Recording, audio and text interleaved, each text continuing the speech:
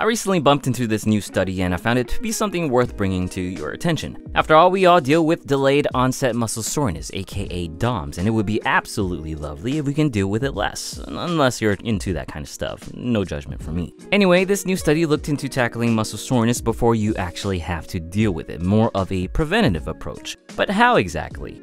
The researchers proposed that you first come back to the gym by initially limiting your exercise options to a particular type. That is, when you come back to the gym, first do isometric exercises. Isometrics are exercises employing static muscle contractions. One of the more popular isometrics is the plank, but it can be done with virtually any type of exercise. You just simply hold a position while under tension. But now let's take a quick dive into the findings and see how we can apply it for ourselves.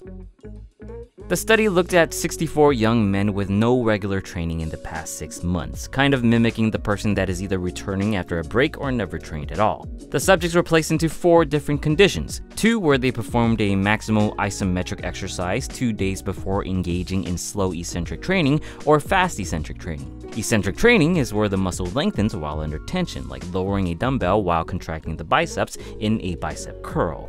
The other two conditions were controls, where subjects only did either slow eccentric or fast eccentric training. The isometric training was an elbow flexion, aka a bicep curl, at maximal contraction held for 3 seconds 10 times at a 20 degree flexion. 45 seconds of rest were given between each rep of the 10 reps.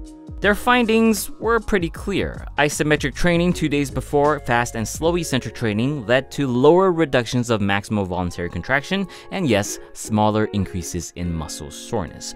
Preponderance lies with mitigating exposure to immediate eccentric exercises, which are very closely tied to DOMS. Plus, creating some sort of adaptation, a repeated bout effect, can also explain the lower soreness magnitudes when employing isometrics beforehand. In short, doing isometrics can help prepare the muscles before dealing with heavier eccentric loads. Considering how easily this can be done, we can all employ this ourselves and see if it can help with that messy, messy DOMs. If not, hey, at least we tried. If you want to give it a go yourself, perform 10 max isometric holds, typically under long muscle lengths, a couple of days before you jump back into your regular program. Of course, there are plenty of other options to deal with muscle soreness, and I'll be covering this in another video very shortly. If I already have by the time you're watching this video, then the new video will be linked in the description as well as in the video cards. Let me know what you think about doing isometrics to deal with soreness in the comments below, or any other cool tricks you might have. If you enjoyed this video, give it an isometric thumbs up and share it with your DOMS loving friends. As always, thank you for watching and get your protein.